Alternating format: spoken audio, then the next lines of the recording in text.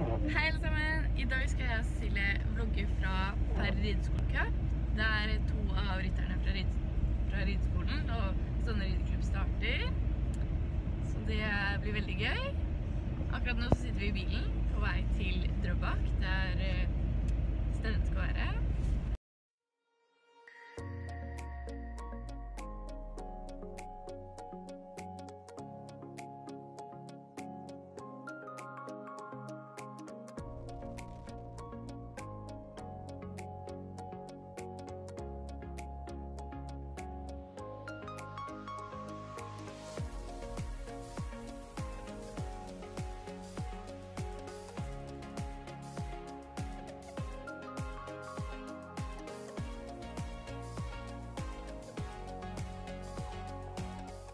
Jeg er Anja. Ja. Anja skal i den andre hesten eh, en fjording i dag. Eh, og jeg lurer på, Anja, hva føler du nå på bak?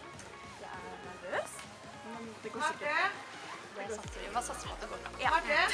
det går nok veldig bra.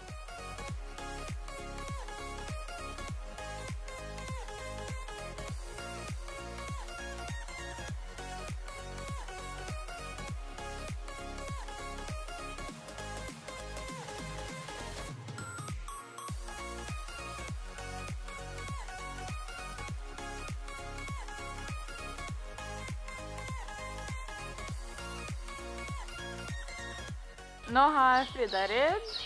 Hvordan gikk det? Så da er vi klare for sprangen, men først skal Anja ri. Er du klar?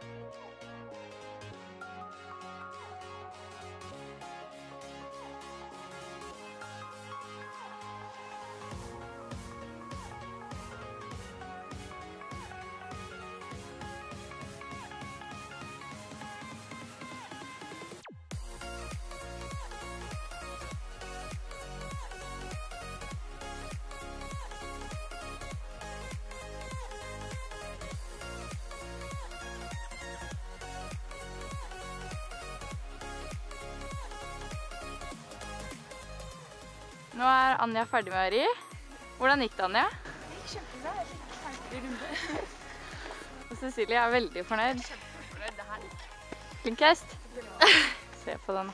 Eh, ja, da er det vinner av kretsfinalen 2008, Feid rideskolecup, eh, fra Stovner rideskole, Anja Helene Bang.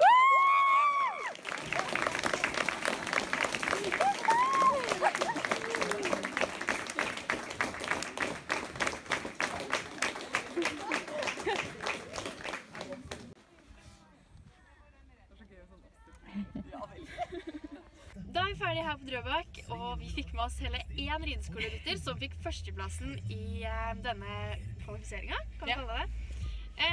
Så ja, vi skal til AG og se på henne, da. Så det blir veldig gøy. Så dere får følge oss med når vi drar på AG. Yeah! Ha det! Ha det!